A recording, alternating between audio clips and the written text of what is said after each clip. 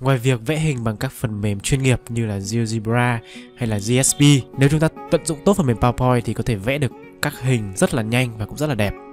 Tôi có một bài toán về góc và tôi sẽ vẽ hình trực tiếp trên phần mềm PowerPoint.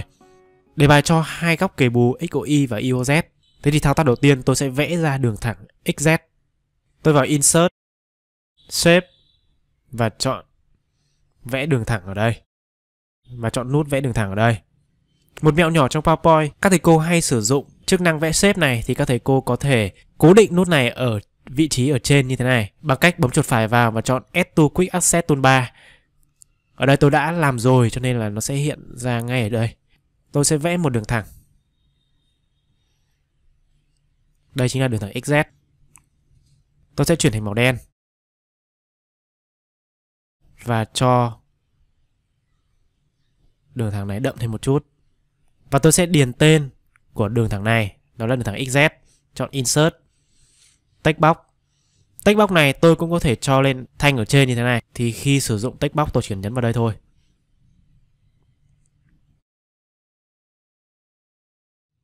Để đến tên Z thì chúng ta lại kích vào nút text box một lần nữa. Hoặc tôi có thể có cách nhanh hơn. Đó là khi tạo ra text box X rồi, tôi chỉ cần bấm nút Ctrl, bấm giữ nút control và tôi kéo, kéo thả. Khi đó thì PowerPoint sẽ tự động sinh ra một bản sao của textbox X.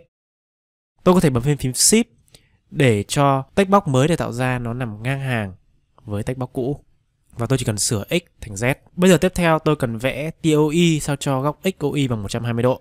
Để vẽ được chính xác góc XOY bằng 120 độ, tôi sẽ tạo ra một bản sao của đường thẳng XZ này. Tôi lại bấm Ctrl và tôi kéo chuột ra. Hoặc tôi bấm tổ hợp phím Ctrl D ở trên bàn phím, cũng sẽ tạo ra một bản sao của đối tượng đã chọn. Bây giờ tôi sẽ quay đường thẳng này dưới một góc là 120 độ. Tôi bấm chọn đường thẳng này ở tab Shape Format ở đây, nhấn vào rotate, tức là xoay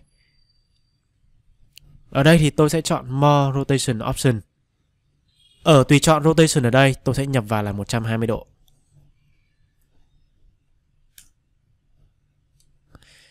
Các thầy cô chú ý 120 độ này là xoay theo cùng chiều kim đồng hồ. Còn nếu muốn xoay ngược chiều kim đồng hồ ta chỉ cần thêm dấu trừ, ví dụ một trừ 120 độ thì sẽ được hình như thế này. Ở đây tôi sẽ xoay cùng chiều kim đồng hồ. Và sau đó tôi sẽ căn phóng to lên. Chúng ta có thể phóng to lên để vẽ chính xác hơn. Và tôi sẽ điền đây là góc O.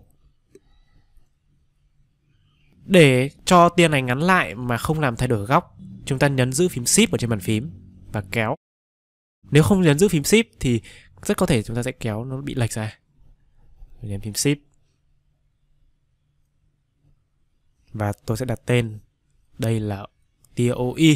TOT là tên phân giác của góc IOZ thì tôi lại tạo ra một bản sao của TOE và tôi xoay đường thẳng này dưới một góc nó chính là 30 độ và chúng ta lại căn chỉnh sao cho hai tia này chung góc đặt tên là TOT Bây giờ bước tiếp theo, chúng ta sẽ ký hiệu các cặp góc bằng nhau và các cặp góc khác nhau. Góc IOT và góc TOZ bằng nhau. Tôi sẽ chọn chức năng vẽ đường cong curve ở đây. Hoặc các thầy cô có thể tìm ở dưới curve. Để vẽ được một đường cong biểu thị cho ký hiệu góc, tôi sẽ chọn 3 điểm Điểm đầu tiên nằm trên cạnh góc thứ nhất, điểm thứ hai nằm ở trong góc và nằm lệch phía trên một chút như thế này. Và điểm thứ ba nằm trên cạnh còn lại của góc thì tôi sẽ click đúp chuột để kết thúc đường cong. Đó là cách thứ nhất là tôi sẽ chọn 3 điểm. Cách thứ hai tôi chỉ cần chọn hai điểm thôi.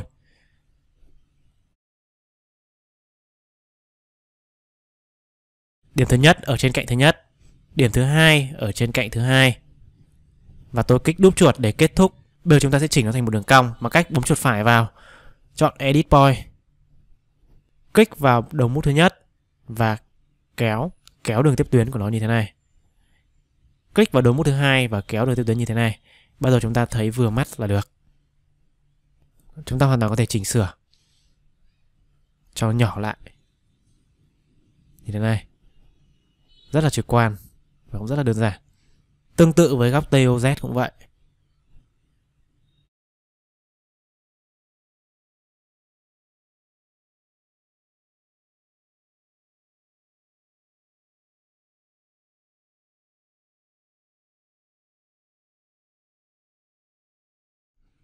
Góc XOY có số đo khác với IOT và TOZ. Đầu tiên tôi cũng sẽ vẽ ra một đường cong tương tự.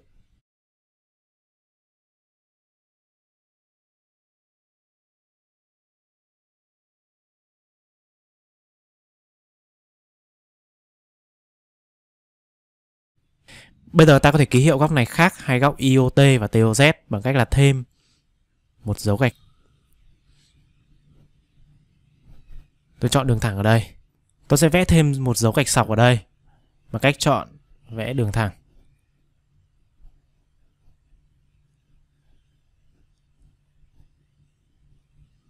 Và tôi có thể chỉnh cho nó đậm thêm một chút bằng cách chỉnh ở đây.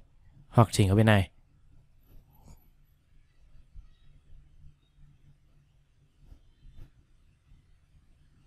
Đó, như vậy là qua một vài thao tác cơ bản thì tôi đã vẽ được hình của bài toán này. Bây giờ để lấy được hình vẽ này và chuyển sang file Word thì tôi có thể sử dụng phần mềm Snipping Tool và tôi chọn sau đó copy và dán vào đây. Hoặc có một cách khác đó là tôi sẽ kéo chọn tất cả các đối tượng ở trong hình này. Tôi bấm chuột phải, tôi bấm chuột phải và tôi chọn copy. Sang file Word thì tôi kích chuột phải và tôi chọn paste, nhưng mà tôi chọn paste ở dạng hình ảnh. Như thế này. Tôi cũng được hình vẽ mà mình mong muốn.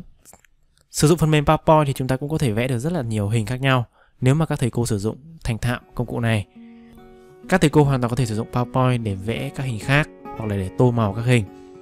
Các thầy cô có kinh nghiệm hay có câu hỏi gì thì hãy để lại bình luận ở phía bên dưới, chúng ta sẽ cùng thảo luận xin cảm ơn các thầy cô đã theo dõi video này.